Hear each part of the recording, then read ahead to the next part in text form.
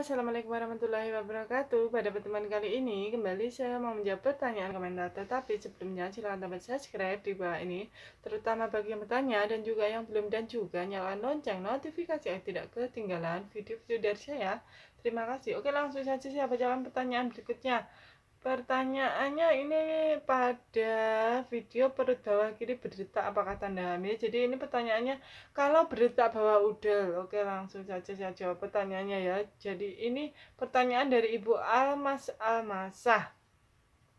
Kalau berdetak bawah udel itu bagaimana? Nah ini dilihat ya apakah tes speknya bagaimana positif atau negatif ya. Jika positif bisa coba dilakukan pemeriksaan USG ya jika hasilnya negatif bisa itu adalah kalau di bawah pusar, udel itu besar ya.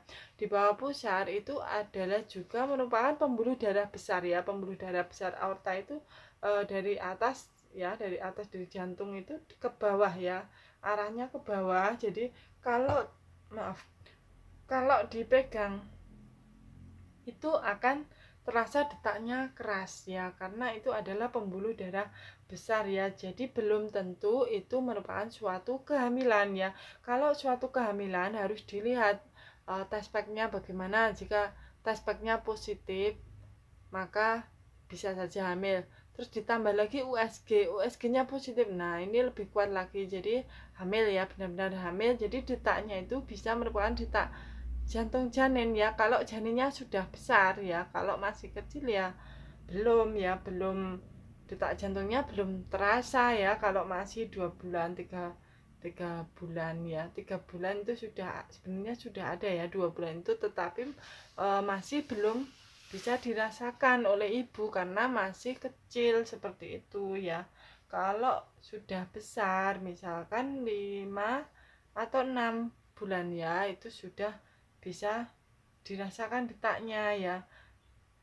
Pada kehamilan yang multi ya kehamilan kedua dan seterusnya itu cenderung lebih terasa kemungkinan pada usia 4 bulan ya atau tiga bulan lebih. Itu sudah ibu sudah mulai bisa merasakan detak ataupun e, merasakan gerakan seperti itu ya. Kalau detak terkadang ibu sudah pada awal saja pada uh, kurang lebih tiga bulanan itu terkadang ibu juga bisa merasakan seperti itu ya. Jadi ini seperti yang ibu alami misalkan uh, di bawah pusat di bawah udel ada detak jantung perlu dilakukan pemeriksaan apa tes speknya bagaimana USG nya bagaimana baru bisa disimpulkan apakah hamil atau tidak. Kalau misalkan USG nya negatif tes spek negatif Nah, ada detak itu merupakan bukan merupakan suatu kehamilan seperti itu. Oke, sekian dulu jawaban pertanyaan dari saya. Semoga bermanfaat. Wassalamualaikum warahmatullahi wabarakatuh. Bye bye.